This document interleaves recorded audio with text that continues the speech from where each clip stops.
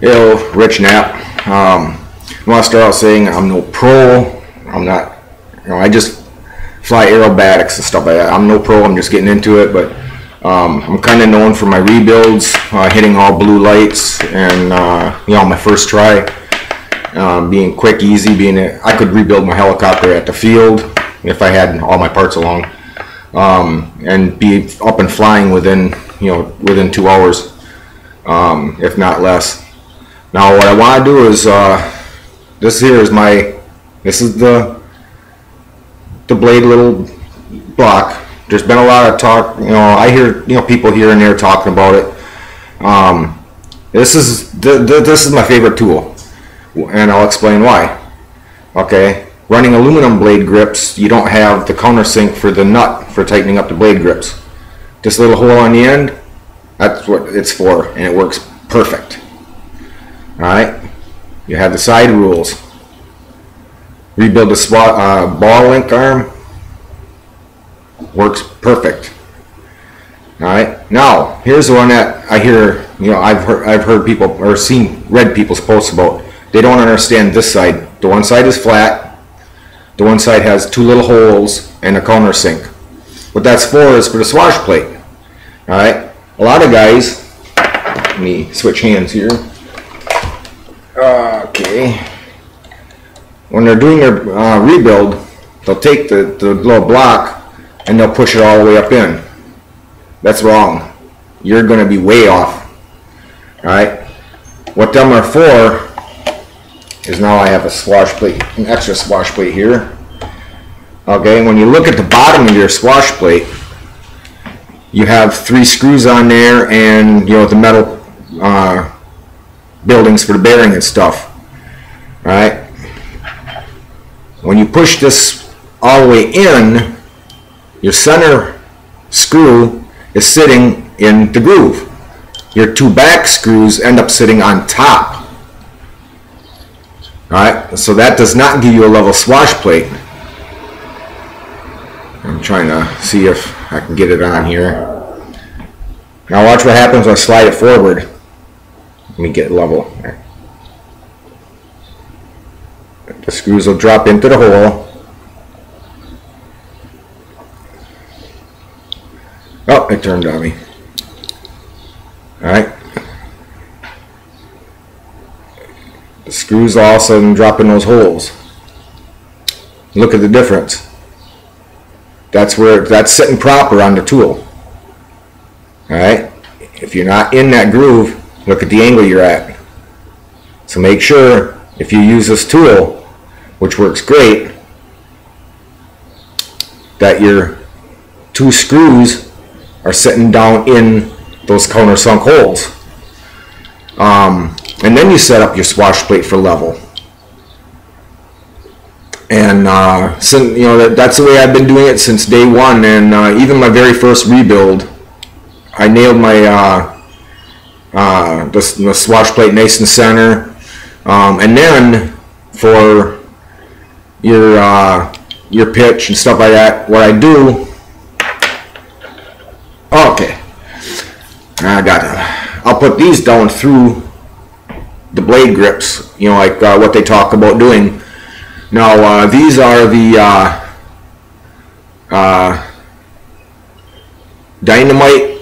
I got through Horizon Hobby. They're dynamite. This is the two and a half millimeter. This is the 1.5. The shank fits perfectly through the blade grip, through that hole for the uh, for the blade grip. And uh, what I'll do is I'll run my you know helicopter sideways, and then I'll line this up with the, this whole shaft. I don't go just by the tip. Make sure that tips are even, because that, that's all going to vary on where your head position is. What I do is I line it up so that at a 90 degree angle to the boom, I'll have this, the you know the two uh, tools will be sideways like this, and I'll sit and I'll line the shaft up with the shaft with the main shaft on a helicopter. Then I'll rotate and I'll do the other side. And uh, once I get it where it looks like they're both even with the shaft, then I'll look and see if my tips are my ends here are even. Um, but I'll rotate and I'll, I'll keep rotating it and just double checking. I mean, it only takes what, not even 10 seconds to rotate it and check it. So don't rush it. Just you'll keep rotating it so everything kind of sets in. Um, you know, and uh, you know, because you're going to have a little variance, you know, from your first setting it, and then if you just set it and it's like, okay, that's good. Once you rotate it, I noticed myself that you will get a small variance. Um, but be very detailed. It's going to save you a lot of money in parts because you get your helicopter up, you know, you're going to be good. Um, but yeah, just go through it, rotate it, and once you get like say, may, rotate it like three times, and that one still looks level, then go to the other side, line it up with the shaft, rotate, you know, like rotate it once, check it out, rotate it again, check it out, rotate it again, check it out, and uh, then you know check and see if your tops are even. Um, it's worked very good for me. My blade tracking has been dead on every time. Um, you know, I continuously get blue lights for all my settings. Um, like I said, I'm no pro. Uh, these are just you know little things I've noticed, but uh, yeah, I don't use the uh, one that you slide on over top the shaft for centering a swash plate.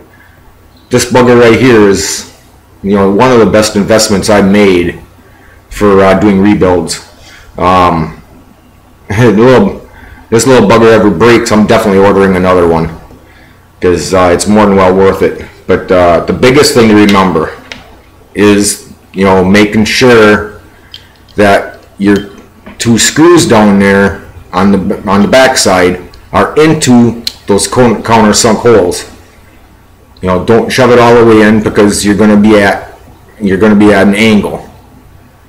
Um, but yeah, I just kind of wanted to make a little video about that because you know there's been I've I've seen people posting and asking questions. Well, what are those little holes for, and what's that countersunk for? And it seemed like a lot of people didn't know, and I never really seen a good answer explaining it. Um, but uh, in all reality, I really think that you know it's real important to get that flat. Um, you know, granted, the fly barless unit it'll compensate for a lot of mistakes, but the less mistakes and the less you got to make your fly barless unit work, um, you know, the, the better flying you'll have and more enjoyable flying. Um, I hope this helps out. Um, I tried to explain it the best I can. Um, but yeah, then, uh, but that works very good. I love this little tool. Like I said, with this, ooh, okay. One negative thing I can say about it, I just ended up getting some. Oh no, that's from the swash plate. Never mind. I thought I smeared the ink. Um, but uh, yeah, with the uh, that's what the gauge is for on the side is for you know measuring ball links and uh, you know building new ones up, and that's what the hole is for. Is uh, for like aluminum blade grips for your uh, for your nut for your blade grips. Um, very versatile tool, works good. Um, but yeah, that's that's what those holes are for on there. That's what the countersink is for on there is to make sure your swash plate sits level. Um, do not push it all the way up in. Big mistake. It's only there just for clearance. You know that way you're sitting flat and you're not hitting that arm and it's holding it up because if your anti-roll is at an angle and you push this in and bump it up to the anti-roll, it's going to sit at an angle. It's not going to sit flat.